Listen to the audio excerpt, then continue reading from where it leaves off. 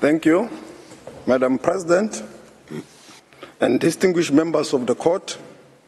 It is an honor for me to stand here in front of you on behalf of the Republic of South Africa on this exceptional case. In extending our hands across the, the miles to the people of Palestine, we do so in full knowledge that we are part of a humanity that is at one. These were the words of our founding president, Nelson Mandela. This is the spirit in which South Africa acceded to the convention on the prevention and punishment of crime of genocide in 1998.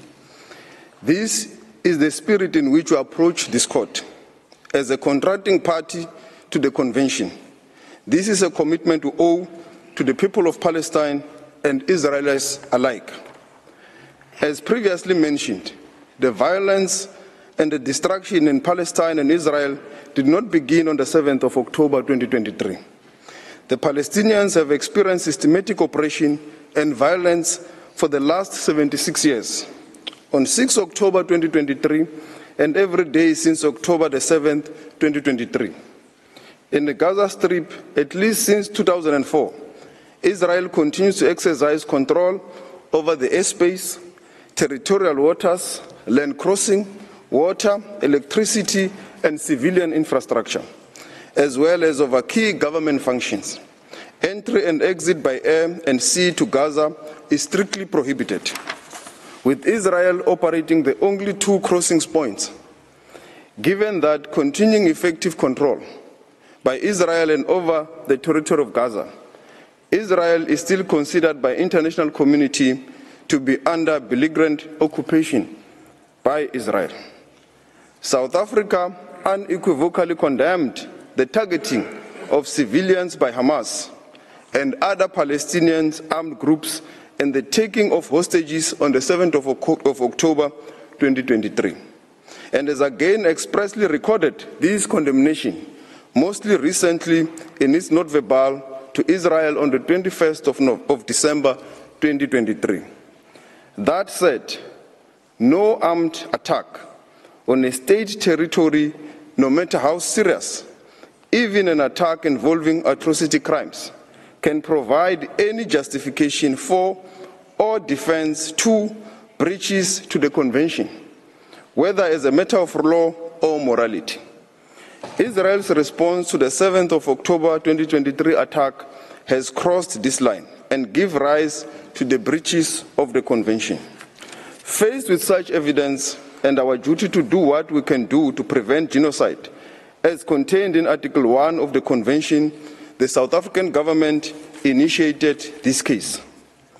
South Africa welcomes the fact that Israel has engaged with the case in order to have the matter resolved by the court. After careful and objective consideration of the facts and submission put before it, as the parties to the convention have intended. This hearing is, is concerned with South Africa's request to the court for the indication of provisional measures and will necessarily have a narrow and particular focus.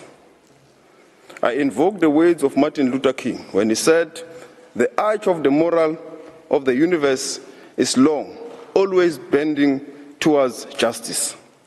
South Africa's case will be presented by a team of six legal counsels, comprising of Dr. Adila Hassim, Mr. Tembeka Ngcukaitobi, Professor John Dugard, Ms. Blim Lecron, Mr. Max du Plessis, and Professor Vaughan Lowe. Dr. Adila Hassim, Senior Counsel, will provide an overview of the risk of genocidal acts in the perpetual vulnerability to acts of genocide. Mr. Tembeka Ngcukaitobi, Senior Counsel, will examine Israel's alleged genocidal intent. Professor John Dugard, Senior Counsel, will focus on the prima facie jurisdiction. Professor Max du Plessis, Senior Counsel, will discuss the various rights currently under threat. Blini Crowell, King's Counsel, will provide will present the argument of agency and potential irreparable harm. And Professor Vaughan Lowe, King's Counsel, will speak on the provisional measures. I now request, Madam President, the court to call on Dr. Hassim. I thank you.